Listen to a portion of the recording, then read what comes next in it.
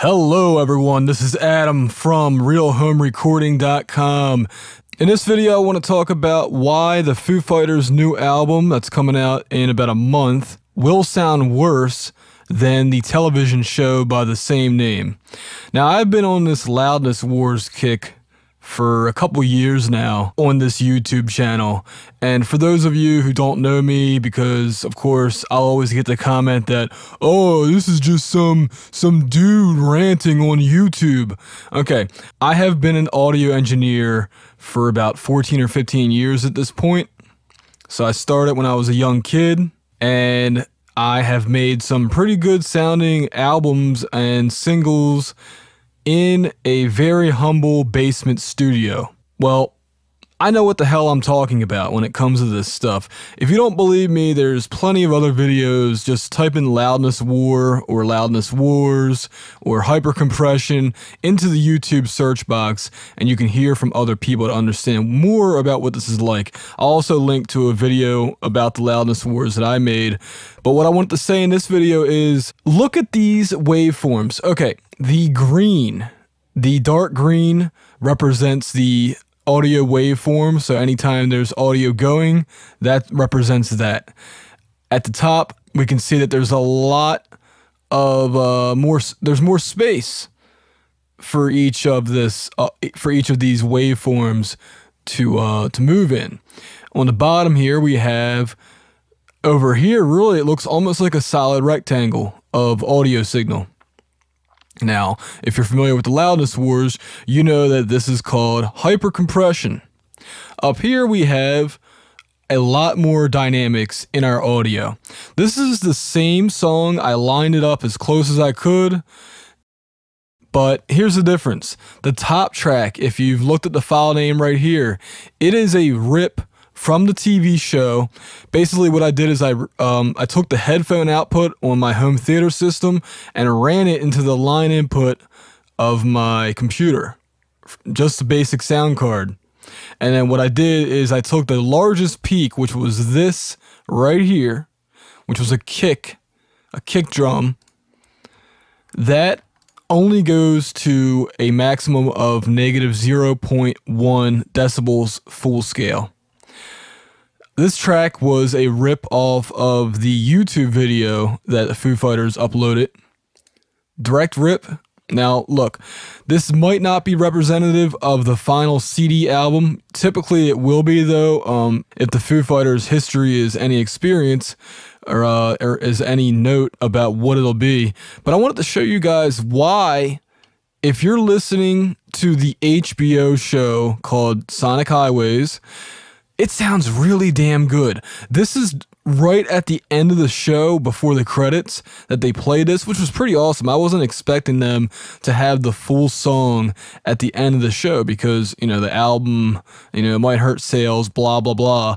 Well, look at the waveform. That's beautiful.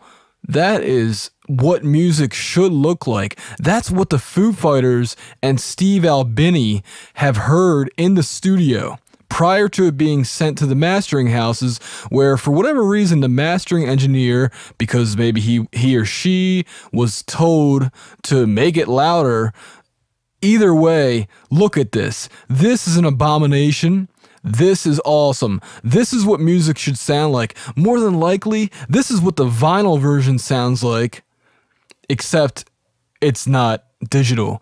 Actually, I would say the digital version, which is right here, would sound better. Now, unfortunately, due to copyright reasons, I cannot play these files for you and monetize this video.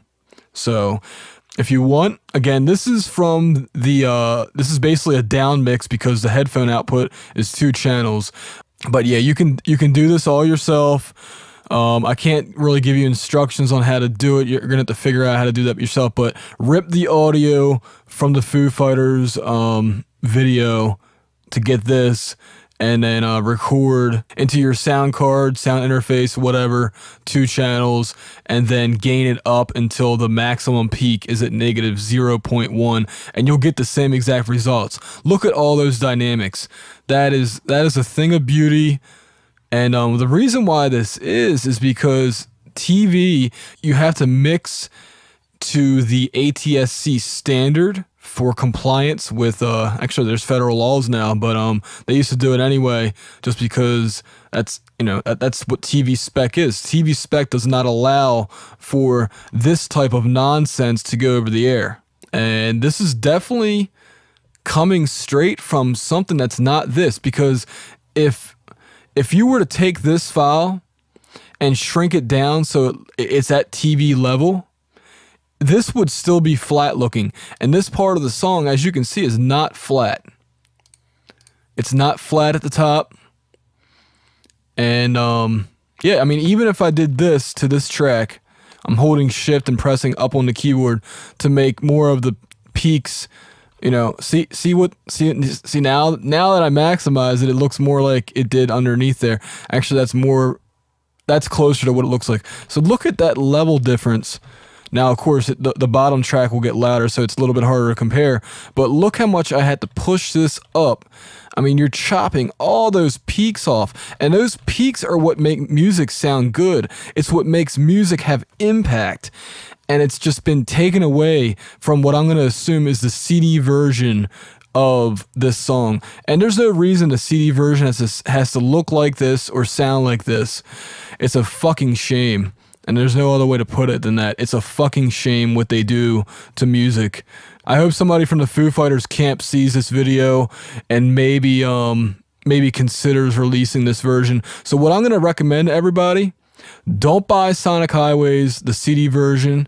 If the Pono or the HD Tracks version, if they release it on those websites, looks more like this, or if you want to wait until the TV show is available on Blu ray and then rip that off of there, that would be the best option. So, yeah, this is over the air audio looking better than something that's direct from the source. It's ridiculous. It shouldn't happen, but they allow it to happen. And, um, that's all I can say about it. it. It's like I said, it's a fucking shame. This has been Adam for RealHomeRecording.com.